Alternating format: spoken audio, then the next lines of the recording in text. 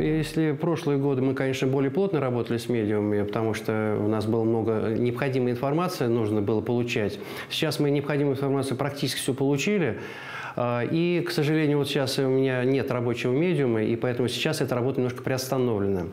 Вот. Другим, э, единственное, что э, и работая с медиумом, я тоже вышел на этот канал информационный, и сейчас я общаюсь непосредственно уже без посредства медиума, необходимую информацию я получаю в нужное для меня время. И вот сейчас я пишу очередную книгу, называется «Три минуты после полуночи», это создание вакцины против рака. И как раз всю информацию я получаю по этому каналу уже тоже как медиум. То есть фактически я как психограф уже работаю как медиум. Э, естественно, если появится такой медиум сильный, я готов с ним работать. Название новой книги – это «Три минуты после полуночи» или э, «В поисках вакцины против смерти». Это как раз э, книга о создании вакцины против рака. То есть это и история почти документальная о Юрии Федоровиче Продане, который создал эту вакцину Бластофак, о том, как он ее создавал, о том, как его фактически физически уничтожили и как эта вакцина вышла на наши уже, э, уже на наш, будем так говорить, не то что рынок, а в нашу работу и, в общем-то, все, что с этим связано. Книга готова уже на три четверти. Э, зимой я ее уже буду готовить к изданию. Ну, думаю, на после Нового года она выйдет в свет. То, что она правильная, я уверен, потому что, когда я работаю как психограф, в прошлом она тоже, эта информация была действительно. И когда я выхожу на какие-то, ну, будем говорить, информационные структуры, Э, здесь не я заказываю музыку, информация приходит она сама по себе. Я считаю, что она правдивая, но и практика показывает как раз то, то же самое. Информацию, общая информация, которую я получаю во время вот таких сеансов психографии, она подтверждается практически полностью. Ну, за исключением некоторых нюансов. Школа биоэнергетики, она уже обкатана у нас, уже она несколько лет существует, и мы подготовили уже несколько десятков студентов, которые уже, некоторые из них работают, не все, конечно, некоторые работают уже в практической медицине, такую школу мы практикуем как в Нижнем Новгороде, так и в Москве. Единственное, мне вот уже сейчас не очень хочется заниматься базовыми обучением и уже готовить уже готовых, подго... вернее, э, специализировать готовых уже экстрасенсов э, уже на более высокий уровень, ну, в частности, энергетической хирургии. Может прийти любой человек, и если, допустим, идет работа в школе, я уже вижу, кто, вернее, сразу я не могу определить, способен или не способен. Это определяется уже в процессе обучения, в процессе работы, в процессе тренингов. И э, первая ступень, она как раз показывает, э, способен человек, не способен. Из этого числа мы уже отбираем на вторую ступень, это более высокий уровень. Там еще несколько человек отсеивается и остаются, как говорится, избранные, которым можно работать уже непосредственно, создавать из них элиту, будем говорить, биоэнергетики. Энергетический луч, он формируется не сразу. Энергетический луч – это способность концентрировать энергию в виде такого узкого пучка, который работает как скальпель хирурга на камень почки, например, на опухоль. А, и э, фактически это луч, он формируется из канала. То есть, когда мы подключаемся к биоплазменной вселенной, прокачиваем свой канал, и чем толще, как говорится, канал, грубо говоря, толще канал у биоэнергетика, тем выше способности энергооператора.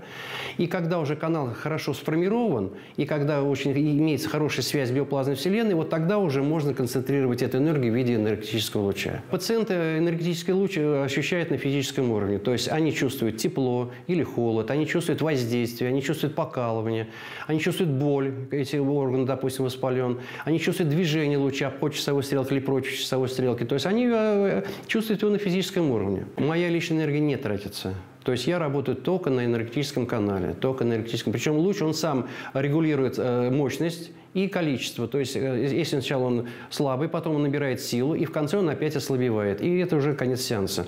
Идет еще обратная связь. Если пациент уже перенасыщен энергией, идет ответная волна, и это говорит о том, что сеанс нужно закончить. Если в прошлом году я выступал на конференции с темой «Рак излечим», э, мы давали информацию на тот момент, и мы действительно добились больших результатов. Это применение бластофага, это применение работы с энергетическим лучом, работы с биополем, другими нетоксическими препаратами, то за год произошли большие изменения. Мы в этой области продвинулись значительно, э, э, значительно далеко, и сейчас разработали методику и, и ПДН, информационный перенос действующего начала. С подачи, опять же, академика Маленкова, э, мы начали эту работу. Я долго, конечно, упирался, я немножко не верил в это воздействие, не верил в эффект этого воздействия, но тем не менее он настоял.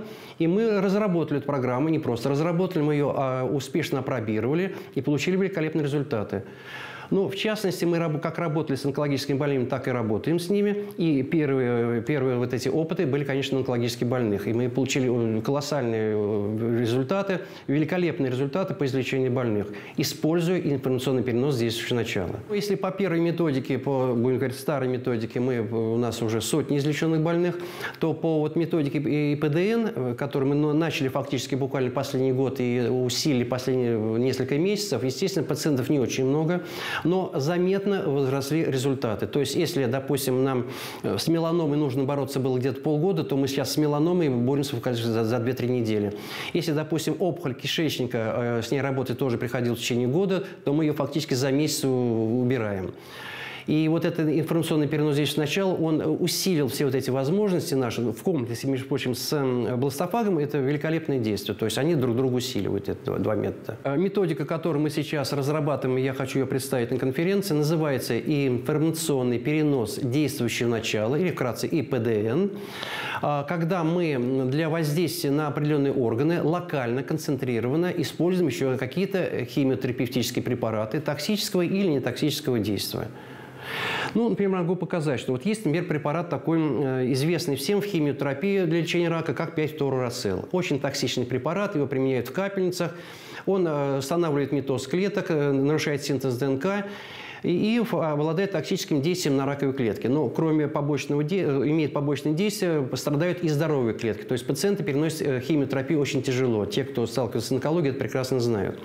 Мы же можем этот препарат переносить локально, Э, дозировано непосредственно не на весь организм, а только на конкретную э, опухоль или какой-то э, очаг. То есть энергетический луч, проходя через этот препарат, локально воздействует на, на, именно на эту зону. Именно на эту зону а токсическое действие на весь организм значительно ослабевает. Единственное, э, отрицательным действием этого, этого метода на химию препарат, ну, в данном случае на яд, это яд является для организма, то, что у, этого, у этой методики есть обратная волна, или лепестки так называемые. Во время сеанса и пациент чувствует это воздействие, и оператор чувствует тоже воздействие. И после нескольких сеансов с несколькими пациентами мы болеем точно так же, как болеет пациент после химиотерапии.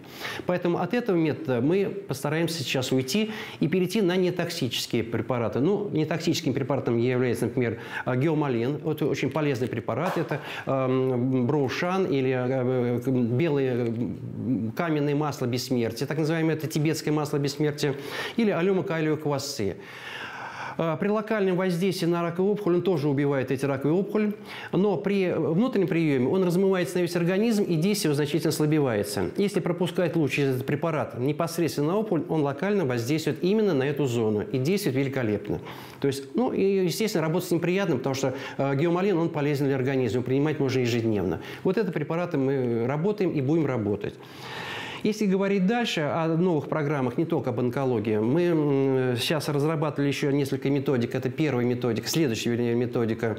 А, программа омоложения и торможения старения – Э, работа со стволовыми клетками и гормоноомолаживающими э, сыворотками для мужчин и э, стволовые клетки для женщин. Тоже также программа ИПДН будет работать на омоложение. Кроме этого, следующая программа – это восстановление хрящевой ткани. Ну, вот есть у меня композит, так называемый коллагенно-хондроидальный композит, который необходим для восстановления хрящевой ткани. К сожалению, организм его не вырабатывает. Если он есть в организме изначально, он больше не вырабатывается. Но мы этот препарат можем также лучом переносить на пораженные органы, то есть это суставы, которые, у которых истончена прокладка, на а, межпозвонковые диски, которые тоже имеют, э, страдают от там, компрессии и от сухости. И этот препарат восстанавливает буквально за, за месяц вот эту вот хондринальную ткань. И э, это одна из методик, но она сейчас находится в стадии разработки, потому что пациентов не очень много. В основные силы мы бросили, конечно, на онкологических больных, и это тоже у нас в перспективе. Но уже работает. У нас есть уже больные, которыми мы лечим. В последнее время э, нам удалось э, зафиксировать физическими приборами и луч, и само явление переноса. Вот это явление, информационный перенос действующего начала, мы взяли вещество, уже э,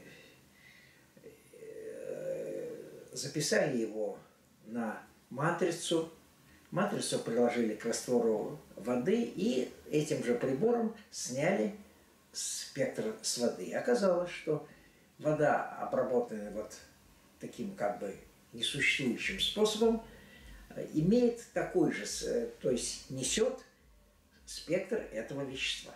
Э, метод, который мы сейчас разработали и успешно применяем, называется информационный перенос действующего начала. В данном случае с помощью энергетического луча биоэнергооператора, то есть не приборами, а именно способностями биоэнергетика.